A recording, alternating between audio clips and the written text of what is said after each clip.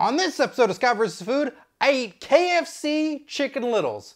Now, oh, look at how tiny it is. They're not lying at all. They gave me something really little, but it's affordable, so it works out. Um, so one of their little sandwiches. So I'm excited to try this. I've never had it before. So let's uh, let's uh, let's open up this little package. Look at how small it is.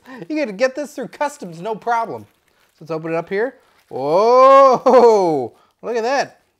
This is like a left, this looks like a leftover sandwich that your mom makes for you when you, it's like you came in from playing, it's like, Mom, Mom, I'm hungry. Like, oh, okay, uh, here, I made you this. It's like a bun and I put pickles on there and uh, I, I, mayonnaise just fell on it in a, in a dollop.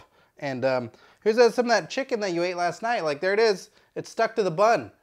Enjoy. This will this will keep you healthy. So there's that. Look, it all just sort of clings together. That's what it's gonna do inside of my body. Oh boy. Oh man.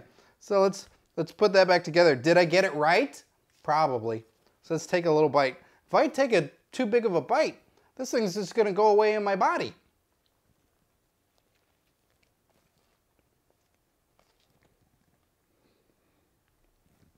Can you see the pickle? It's there.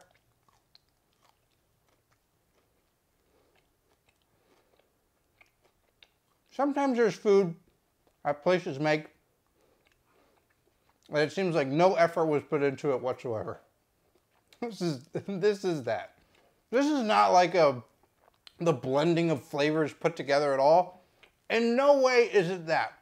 It is just a piece of fried chicken with a little bit of bread and some pickles that are a little sweet, a little too sweet. And it all tastes okay, but this is not something you go, let's all go get a good meal. No, this is just filler. This is just really filler and it's it's fine. It's not terrible. I don't want to be mean.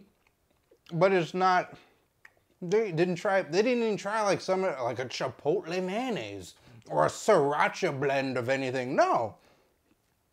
It's leftovers. Like I'm eating the leftovers of KFC. They're putting together all the other dishes and they're like, what we got left over? A little bit of bread? Ah, chicken little. There you go. They should call it chicken leftovers because that's what this is. And I'd be fine with that. Like going in late at night, it's like, what do you want, leftovers? Here you go.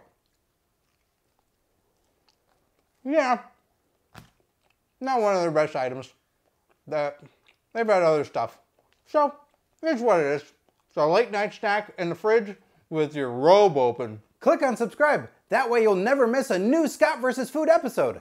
And be sure to click on the eye so that way you can see all the great episodes of Scott vs. Food from the past. Now to head to the future. The future where I eat even more.